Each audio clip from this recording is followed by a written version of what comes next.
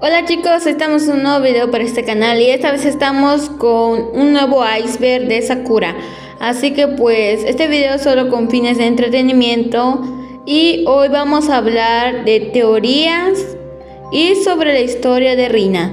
Así que pues acomódense bien y disfruten de este iceberg.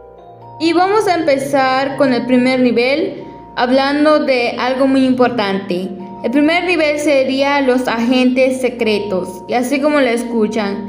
Y ustedes se preguntarán quiénes son los agentes secretos.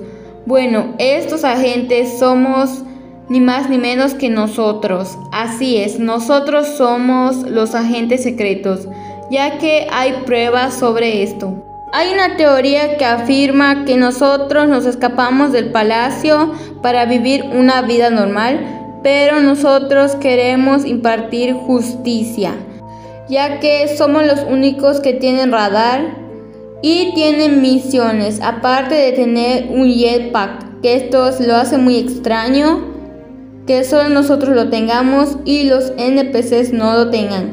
Además de que nosotros completamos misiones y podemos entrar en misiones secretas como los yakuzas. Así que pues también los yakuzas nos atacan, que es algo muy extraño porque a los NPCs no se lo hacen. Y esto se vuelve muy interesante, ya que nosotros somos agentes secretos que nos escapamos del palacio para vivir una vida normal e impartir justicia. Y este sería el primer nivel y pasamos con el segundo nivel. Y el segundo nivel sería el emperador, así como lo escuchan, el emperador. Y ustedes se preguntarán quién es el emperador. Y pues bueno, el emperador es el que está en el castillo porque nuestra casa, o más bien la casa de Sakura, que viene siendo la princesa, que ahora se llama Rina, es el palacio y la casa del emperador es el castillo. Así que hay un palacio y un castillo y no se vayan a confundir. Y hay una teoría que dice que el emperador también estuvo involucrado en la muerte de los reyes y la reina, de los padres de Rina. Así que pues hay una evidencia sobre esto que en un cartel de la estación de policía hay Dos carteles donde dicen que se buscan al emperador y te dan dinero a cambio de eso. Además que en el castillo hay como un laberinto abajo que parecen cuartos, pero si vas ahí te vas a perder. Y esto es muy extraño, ¿por qué tendrían como un laberinto abajo del castillo? ¿Acaso ahí es donde se van a guardar? ¿O donde van a secuestrar personas? Eso nunca lo sabremos. Así que como ven, estos son los carteles. Y pues también te va a completar una misión si matas a estos dos, creo yo. Y pues la teoría dice que ellos fueron también los causantes de la muerte de la reina y el rey de los padres de Rina. Al final de este video vamos a conectar todas las teorías y van a ver que está relacionado con la muerte de los padres de Rina. Además que vamos a decir que por qué los NPCs no tienen padres. Y esto es muy interesante. Y este fue el nivel 2 que viene siendo el emperador. Así que pasamos con el nivel 3 de este iceberg. El tercer nivel sería Mohimi Town y ustedes se preguntarán qué es Mohimi o quién es Mohimi Bueno, pues Mohimi es una ciudad que aún no está construida aquí en la ciudad de Sakura y esto se puede demostrar porque en el túnel hay como una estructura de color negro que debe de llevar a una ciudad llamada Mohimi Además que la ciudad de Sakura está inspirada en el pueblo de Garusov o más bien en la ciudad de Garusov, ya que si vas a la Play Store y ves la ubicación de Garusufo, pues Garusufo ha recreado su ciudad en un juego y ahora les voy a mostrar. Y aquí como ven dice Mojimi Town, pero está una estructura negra y no se puede traspasar ya que esto lleva hacia el volcán pero debe de haber una ciudad construida. Así que pues, ¿quién estaba construyendo la ciudad? ¿Acaso los padres de Rina?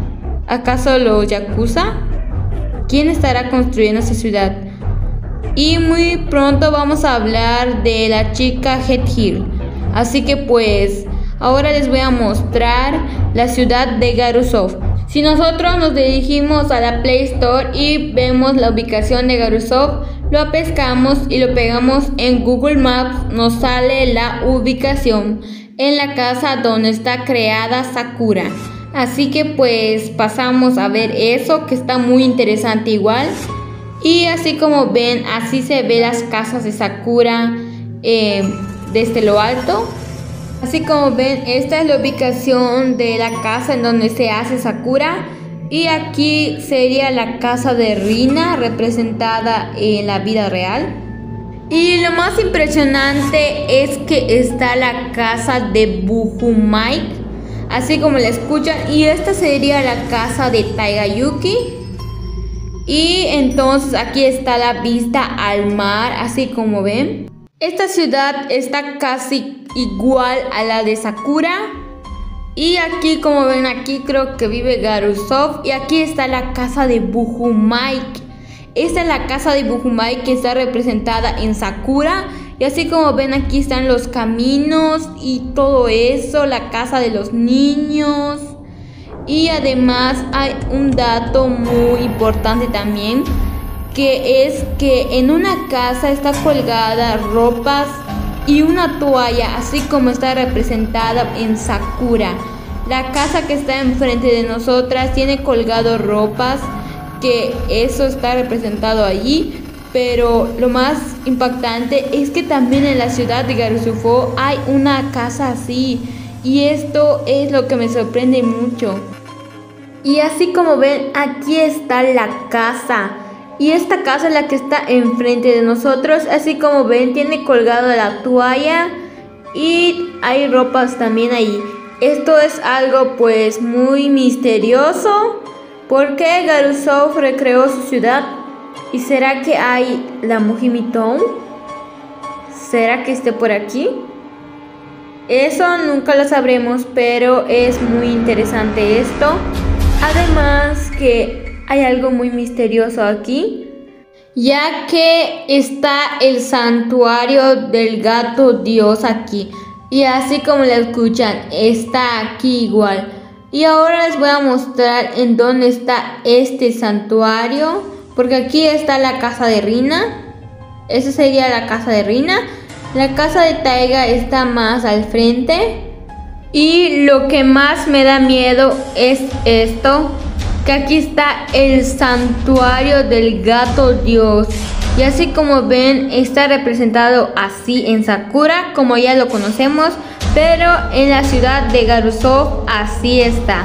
Está de color blanco y en Sakura está de color rojo. Y puede ser que haya más, más de estas casas.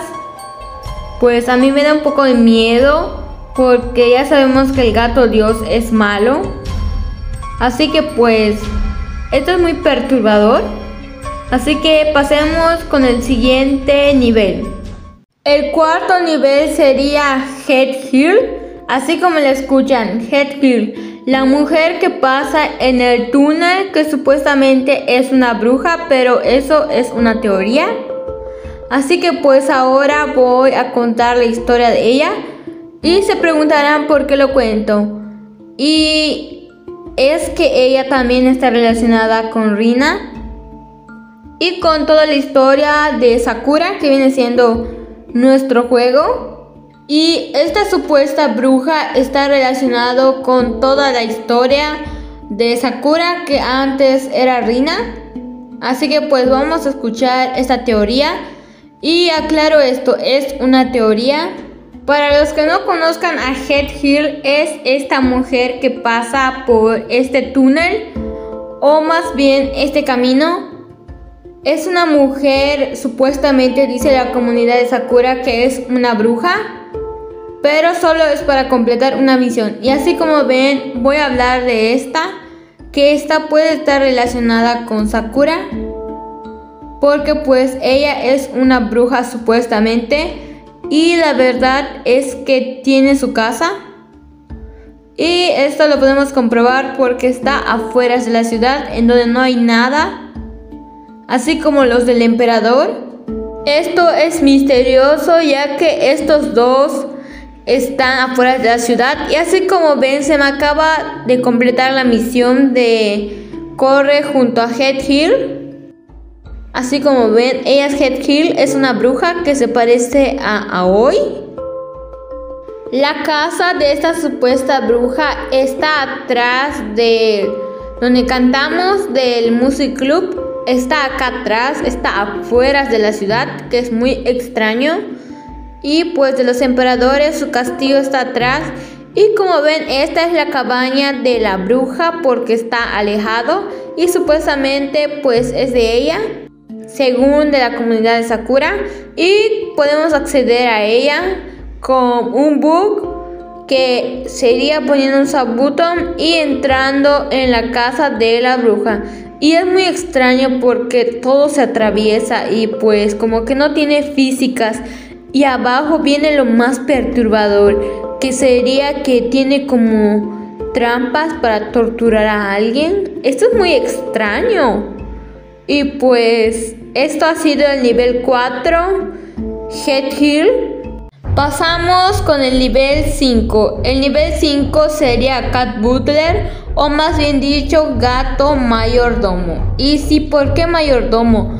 Bueno, porque este era el servidor de la princesa Sakura y hay un misterio que lo revela todo y que afirma nuestra teoría de que Rina era la princesa y se llamaba Sakura.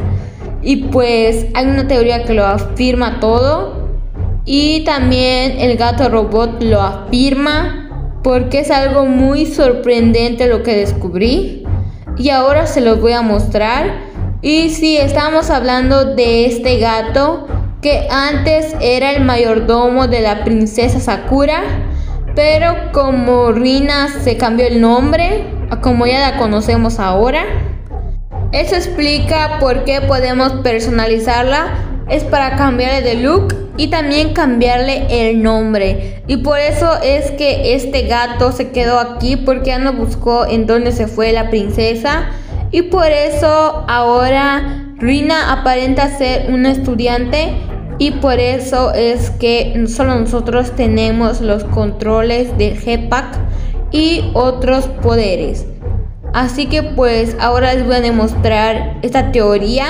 Iba a decir ustedes que se va a afirmar esta teoría.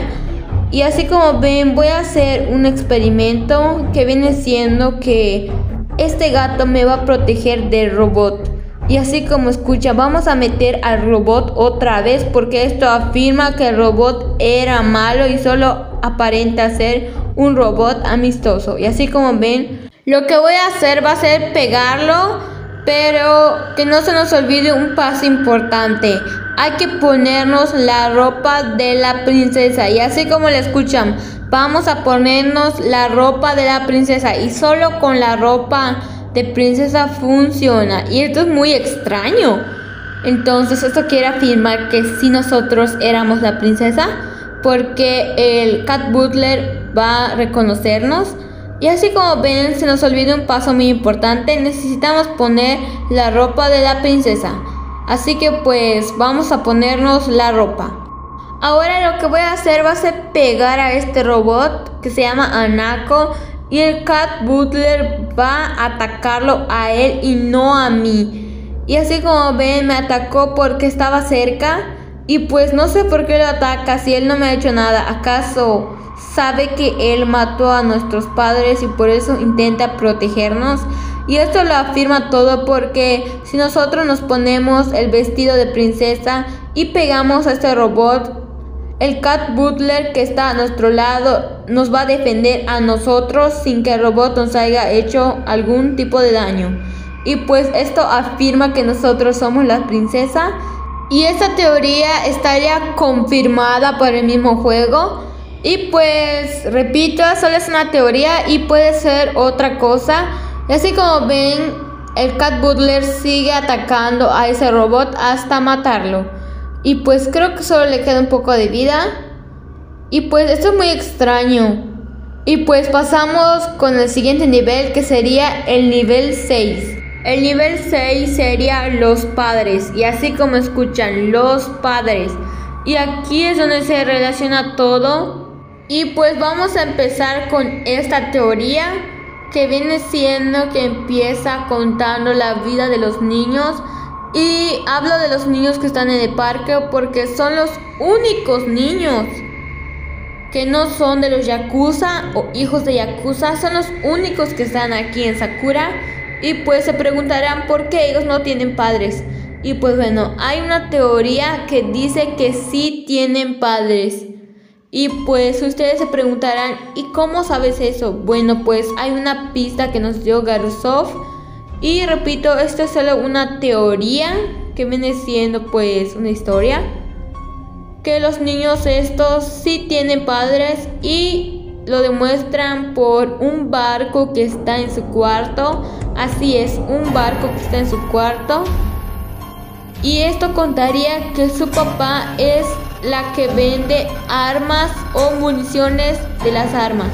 Esto es muy escalofriante porque vendería municiones de armas y así como ven el parecido es casi igual, solo por la diferencia del color de los ojos, pero esto puede variar por la madre, pero aún desconocemos quién es la madre de los niños.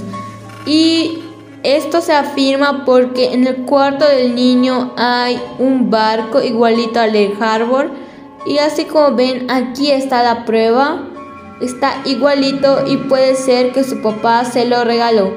Y pues esto sería la teoría de por qué los niños no tienen padres. Pero aquí no acaba la cosa, sino que vamos a explicar por qué todos los de Sakura no tienen padres. Y pues bueno, vamos a empezar contando esta teoría ya que según la teoría dice así que todos los de Sakura no tienen padres porque el dios gato los mata, ya que según dice que los padres de los estudiantes los mataron porque los estudiantes ya tienen la edad adecuada para poder sobrevivir solos y por eso es que no tenemos padres ni cualquier otro NPC y pues este gato Dios los mata, ya que cuando nosotros tengamos hijos nos van a matar a nosotros para que solo queden nuestros hijos y así va la historia. Y eso explicaría por qué mataron a los padres de Rina, ya que Rina ya tiene la edad adecuada para sobrevivir sola, igual los NPCs. Esto explicaría por qué los niños aún tienen padres, ya que ellos aún no tienen la edad suficiente para sobrevivir solos y por eso es que tienen padres. Y pues bueno, esto sería así. El emperador, la bruja, el robot y el gato dios estuvieron de acuerdo para matar al rey y la reina, para que después la princesa Sakura se escapara, llevando así el mayordomo con ella, pero ella se cambió el nombre y la apariencia, por eso el mayordomo ya no la reconoce y por eso es que nos ponemos el vestido y nos reconoce. La bruja les daría poder a los esqueletos de la rey y la reina aún tener vida y por eso explicaría las estatuas poseídas también y todo esto. Y lo de los padres es que los matan por generación ya que ellos tienen hijos y cuando sus hijos tengan la edad suficiente para vivir solos, pues los van a matar a ellos y así sucesivamente. Y pues esto ha sido el iceberg del día de hoy y pues espero que les haya gustado la parte 2 y pues viene la parte 3 aún más interesante. Y pues pasamos con los saludos. Un saludo a Miranda, un saludo a Valerie, un saludo a Eli. Y el hashtag del día de hoy es parte 2.